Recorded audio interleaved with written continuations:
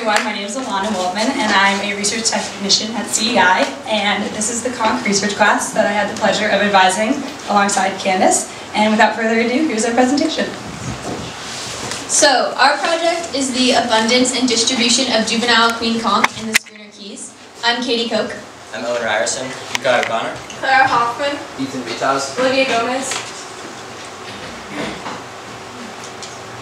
So, queen conch or Strombus gigas are marine gastropod mollusk. They're very culturally important to the Bahamas. As you can see, they're found on the national crest, representing the country's marine biodiversity. They're also a staple in many Bahamian dishes. Queen conch are economically important in both commercial and sustenance fishing. The species brings in six to seven million dollars annually in exports alone. Queen conch are ecologically important as they bottom feed off of algae and detritus off of the seafloor.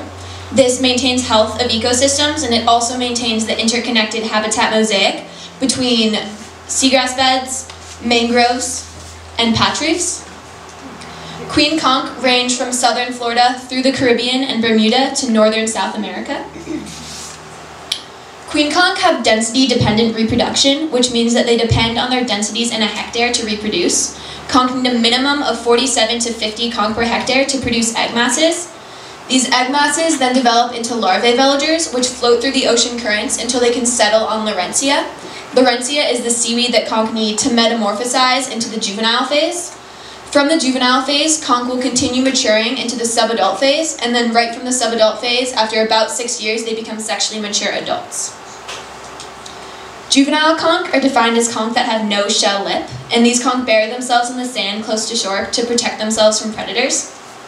Subadults are when they have this shell lip, but it is less than 15 millimeters thick. Once this shell lip reaches 15 millimeters thick, they become sexually mature adults, which means that they can reproduce, and adult conch are found close to shore or in deeper oceanic regions. So currently in the Bahamas, there's a number of regulations protecting conch. One of which is it is illegal to scuba dive for conch. Another is it is illegal to harvest conch with a shell lip of less than 5 millimeters. However, from previous research, we know that this is not very effective because conch are not sexually mature until they have a shell lip of at least 15 millimeters. Harvesting juvenile conch is detrimental to the population because it um, does not allow itself to replenish. These regulations are not strictly enforced due to a lack of funding. Conch can also be found in the CITES 2 appendix, which means their, their exports must be monitored in order to prevent the species from becoming extinct. The problem our research is addressing is the overfishing of juvenile queen conch in the Schooner Cays. So a shell midden is a pile of conch shells that have been discarded by fishermen. You can see one right over there. In 2003, a study was conducted by the Cape Eleuthera Institute, which determined that 32% of the shells in these middens in South Eleuthera were illegally harvested juveniles.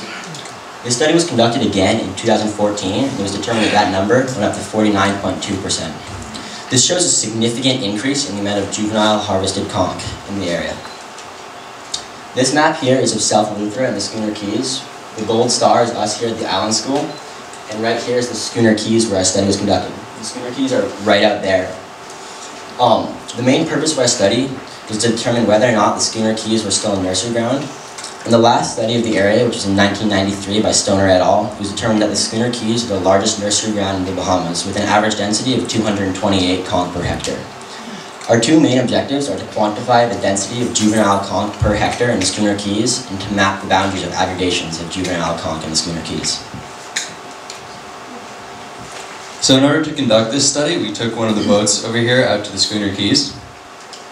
And we are represented by that gold star, and this is the Cays up here. And we're partnered with Shedd Aquarium, and their lead scientists developed our methodology where we place this grid over our study site. We conduct five 200 meter tows within each sector of each grid. Four of them originate from each corner of each sector, and one originates from the center, and the direction that we tow is randomly selected before each time. There are two snorkelers that are towed behind the boat on a manta tow board, and they're diving up and down and counting the number of juvenile, subadult, and adult conch. In order to rapidly assess our study area and make our data more comparable with historical data, we changed our methodology for classifying life stage from using lip thickness to using siphonal length, which is this length right here. And we estimate that this is about 10 centimeters, And we say that a juvenile is less than 10 centimeters, a subadult is greater than 10 centimeters, and an adult is greater than 10 centimeters with a fully flared lip. Uh, when the snorkelers identify an aggregation, which is more than 2, me- two conch per 10 meters squared, they'll raise their hand out of the water and we'll mark that as a waypoint on the GPS. And at the end of each tow, we'll collect the number of juvenile, subadult, and adult conch, as well as taking the depth and temperature at the beginning and end of each tow.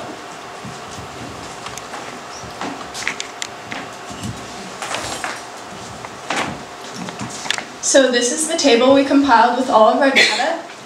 Here you can see the 24 grids that we towed in. We then used descriptive statistics to analyze our data. We found the mean number of juvenile conch per grid. We found the standard error of the mean, the mean depth, the mean temperature, and the number of tows per grid. Here you can see our largest mean number of juvenile conch. This is when we found an aggregation of 33 conch on one of our tows. You can also see that we found 13 grids with no conch in them whatsoever. This is the mean depth range where we found conch from 5 to 17 feet. Some of our key findings, in a total of 117 tows and 24 grids, we found 124 juvenile queen conch. The largest aggregation we found was 33 conch. The mean depths where we found conch was from 1 to 17 feet, and the mean depth we found aggregations was from 6 to 17 feet. In conclusion, the average density which we determined for the Schooner Cays was 8.24 juvenile queen conch per hectare.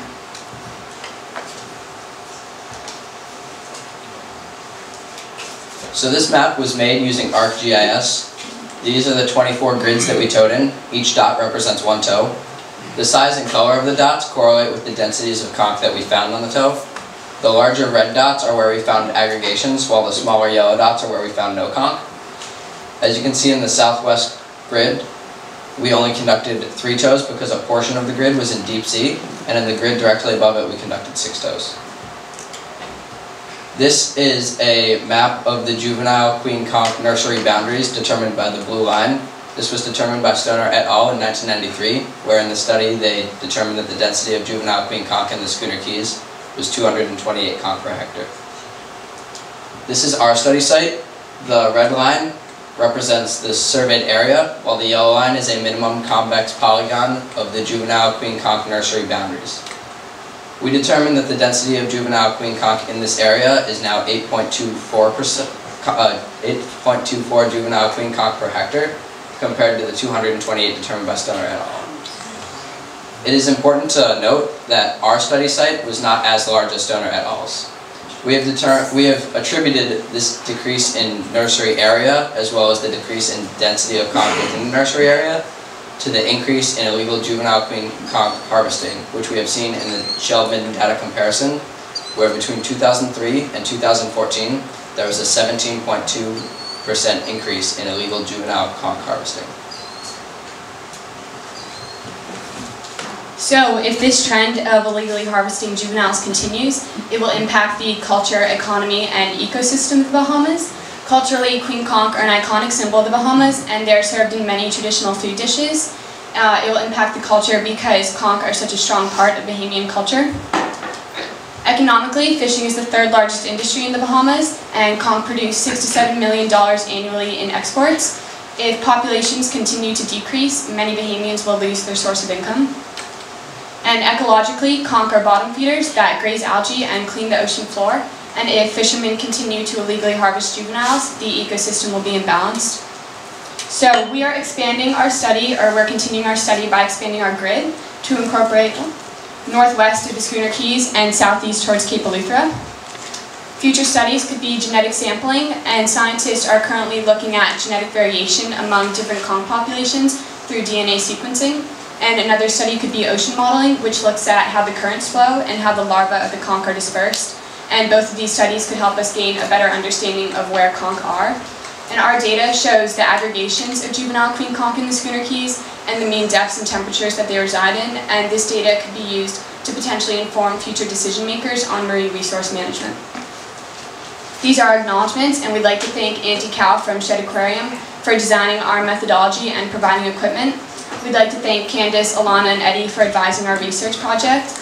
And we'd like to thank Allan Stoner and Claire Thomas for providing historical data, Logan for the ArcGIS maps, and Abby Gordon for the photos. And these are our citations. Any questions?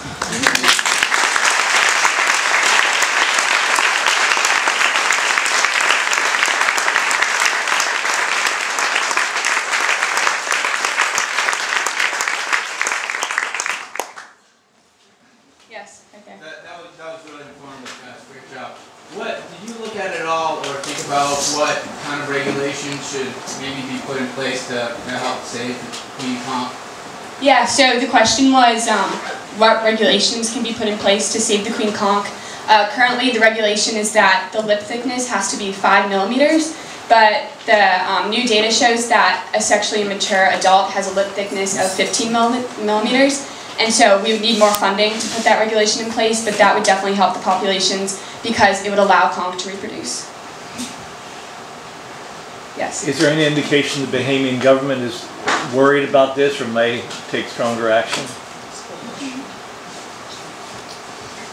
Um, so right now, one of the uh, goals, oh, the question was, um, are there any uh, regulations that might be put in place? Um, like, is the Bahamian government interested in this problem?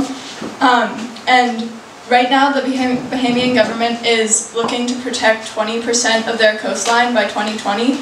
And so this study um, can help push them to protect more conch areas. Was the methodology for counting the same as in the prior study? Maybe the other guys were just better counters. Uh, the question was, was the methodology for counting the same uh, as it was in the prior study? Um, yes, we changed our methodology for, from using lip thickness um, to determine life stage to using the estimation of this as 10 centimeters, so we could more quickly assess the area, but also more easily compare it to the historical data. But this, this amount of people you had looking and stuff like that was the same. Yes, that was the same. So on your study, you also took uh, temperature data for each um, trawl. But did the pre, the prior study do that also? And do you know if there's any ocean temperature change over time? And might that be impacting population? Um, the question was, did the previous study also take temperature and depth data? And that affect the amount of juvenile conch? Um, so we do not know that, but that would be an interesting comparison to do. Is it possible to institute any seeding programs? And also, is it, is conch something that lends itself to um, aquaculture?